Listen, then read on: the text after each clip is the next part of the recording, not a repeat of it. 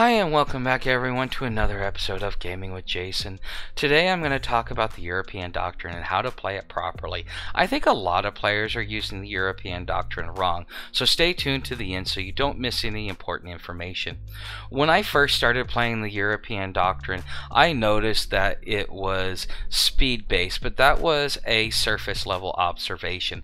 The European Doctrine, if used properly, could be the most powerful doctrine in the entire game. Each doctrine has a specific set of units that are native and designed for that specific doctrine. When you don't use a doctrine properly, you're not getting the full potential out of the country you're playing or the doctrine in which you're using. The first unit that I would like to bring to your attention is the mechanized infantry. If you've ever tried to use a unit in the Western or Eastern doctrine, you'd probably say that it was crap and wasn't worth the research. In the European doctrine, the mechanized infantry is probably the most essential unit when countering the Eastern and Western doctrines. The mechanized infantry gets a 20% boost in infantry attack, taking it from a 4 attack at a level 3 compared to a 6 attack attack at a level 3, which is better than infantry, which only gives you a 4 attack at level 3. The mechanized infantry isn't just good against infantry, it's comparable to a battle tank in damage. A level 3 tank will do 9 damage versus the 7 damage for a mechanized infantry or 2 damage from uh, motorized infantry. In a way, this unit is an optimal unit for the European doctrine all, over all other uh, infantry units. The mechanized infantry is so much better in the European doctrine, it may be the only land unit you need if you get your air units right. Uh, speaking of air units, another important note about the mechanized infantry is that it starts with a 1.3 defense against air units versus the 0.3 defense given by the motorized infantry. In the European doctrine, if used properly, the mechanized infantry costs less than a tank and is almost as powerful as a tank.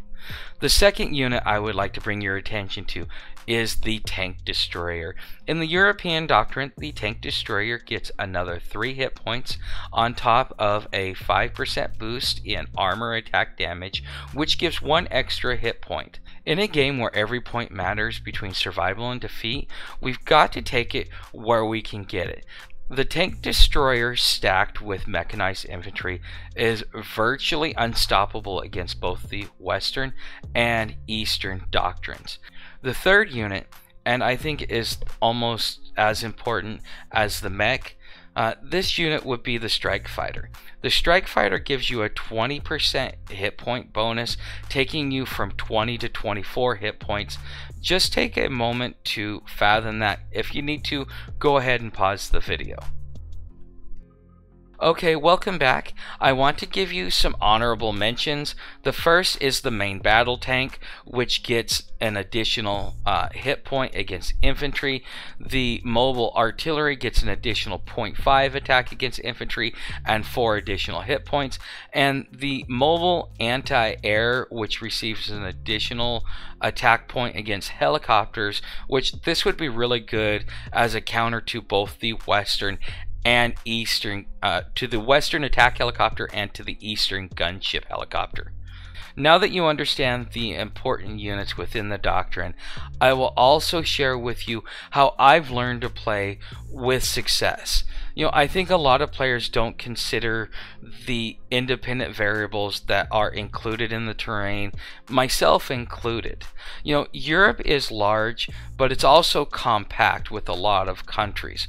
You know, unfortunately for fortunately for me, most of these players tend to use the uh, either the main battle tank and infantry, and when they use that against me, I can usually win with minimal losses because of the advantages I get from mech and tank destroyers supported by strikers. If a player did get smart and start using my strategy, there are still ways to avoid a stalemate. I would recommend a mix of tanks and tank destroyers with mech. For instance, if I were going against infantry and tanks, I would use three tank destroyers with seven uh, mech uh, supported by a full strike wing. This allows you to get into a battle quickly for a quick win. And if someone decided to go up against my strategy, let's say they wanted to do the same thing that I was doing, then the way that you would counter it would be three tank destroyers, two main battle tanks, followed by five mech, a strike wing, and air superiority fighters. Now, if you get to that point and they uh, have matched you uh, unit for unit, level for level, then it just becomes a battle of uh, activity and wits. I hope this helped you understand the European doctrine so much better. And if you made it this far, uh, go ahead and hit that like button. And hey, if you'd like to even share this with your friends, hit the subscribe button. Thank you for watching. And now I'm going to be doing regular videos and a regular schedule, which I intend on uploading every Monday, Wednesday, and Friday. Uh, my intent is to do it at noon.